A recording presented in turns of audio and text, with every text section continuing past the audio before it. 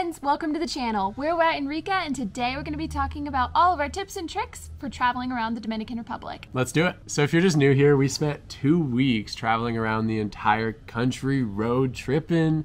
It was a great time, and we actually learned a lot. So, we're hoping to share it with you and hopefully help your travels be better.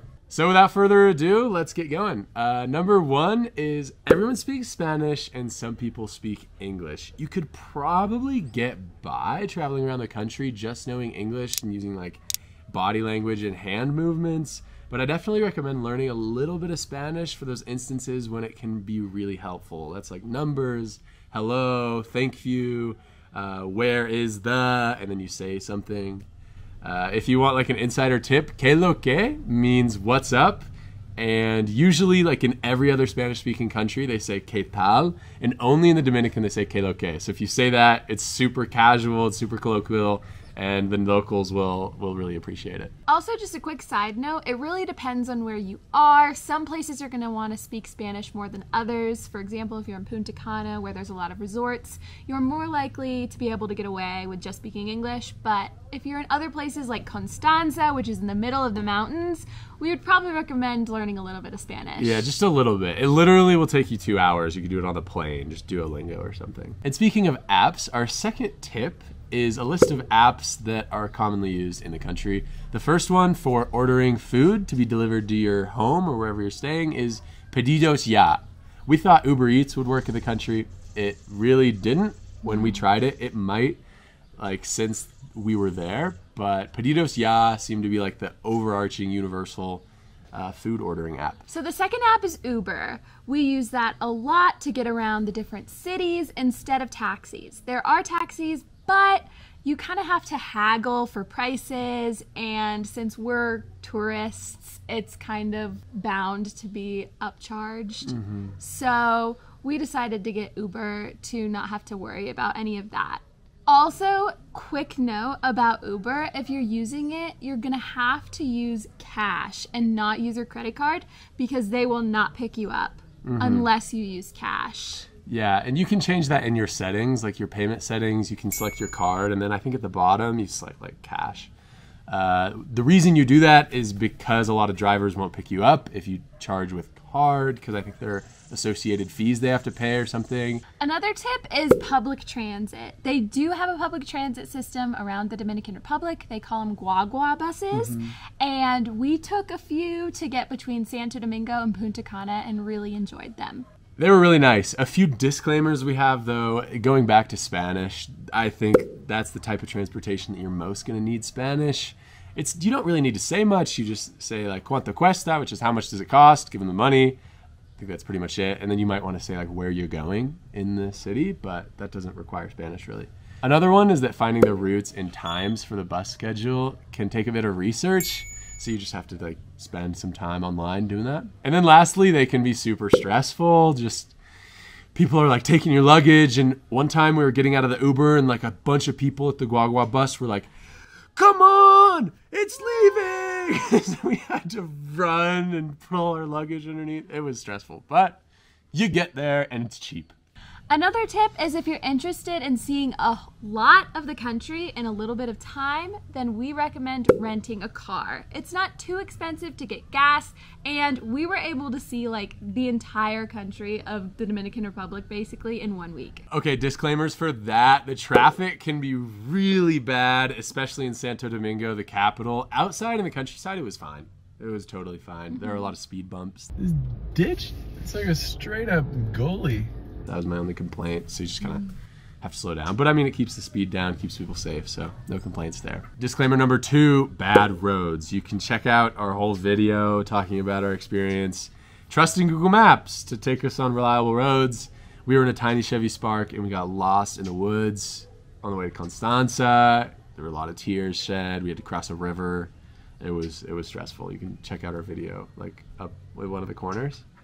Yeah, don't trust Google Maps. It's going to take you some crazy ways. Yeah, definitely just spend five minutes, look up where the nice paved toll roads are. Mm-hmm. You'll be very glad you did.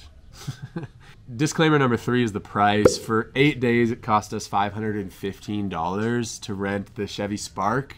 uh, not including gas. We did have to pay an extra hundred, I think, because we actually lost the hubcap when we were on that adventure. Just going through so many bumps, it just flew off and we didn't realize until we got there. But and the last disclaimer for this isn't really a disclaimer; it's more of a tip. If you rent a car and you are driving, uh, a lot of the people say that Waze is better than Google Maps. It's a different sort of direction giving app. And maybe if we were on Waze instead of Google Maps, we wouldn't have gotten in that pickle. Um, at least try it out while you're there. Next up are our recommendations for the best places to go in the Dominican Republic. The three major cities in the Dominican Republic are Punta Cana, which has all the all inclusive resorts, Santiago, which is the university town there in the Dominican Republic, and then the last one is Santo Domingo, which is the cultural hub and the oldest colonial city in the Americas. But our favorite places were actually Bahía de las Aguilas first. It's like out of another planet. It is so nice. It's the best beach. It's often rated the best beach in the Dominican Republic. We visited a few on that list. That was easily, easily the top one. Butterflies everywhere, perfect white sand, turquoise waters, nobody there, like no development. It was, and there was no sargassum, which is like that nasty seaweed that we saw at Playa Rincon. It was just like, it's like if you can get out there, go. Yeah, it is a bit of a drive to get out there. You probably would want to rent a car to get out there. Um, Yeah. It's in the middle of nowhere, but it is definitely our top favorite place in For the sure. Dominican Republic. For sure. Also, we really enjoyed Las Galeras. They had this amazing, beautiful cliffside restaurant there called El Cabito. El Cabito.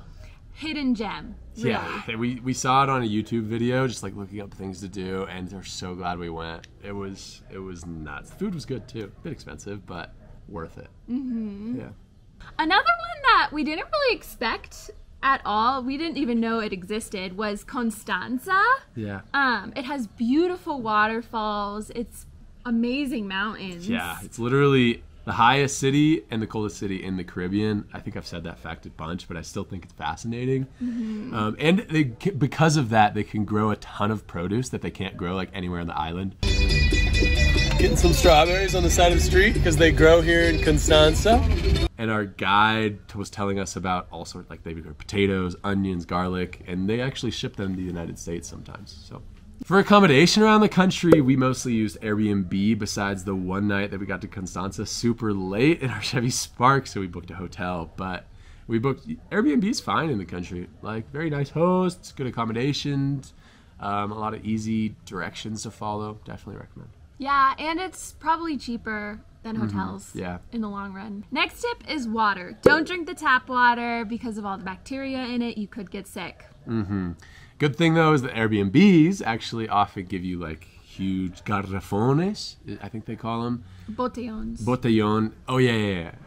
Botellones, which are like these huge jugs of water, and you can just like drink from there. So it's provided filtered water. Um, if not that, we would just buy like sadly plastic water bottles around the country, but it is filtered and it's sealed. So Next tip is we recommend trying all the local Mm-hmm. food. We love Dominican food. Dominican food slaps. it's it's so good. Particularly, we would recommend trying tostones or fried plantains. Mm-hmm. yeah. They're basically like French fries, but a little bit sweeter because Yeah. they're plantains, and they literally like mash them up and then fry them. and you can ha- like dip them with ketchup or mayo, and it literally just takes like a little bit of banana French fry.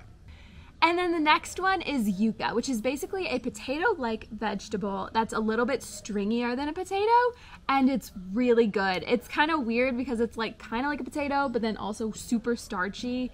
I like it a lot. Our next tip is kind of like a self plug. We adventured around most of the country, and if you want to see those adventures and see what they might be like, you can just like check out this series. We'll again put it up here.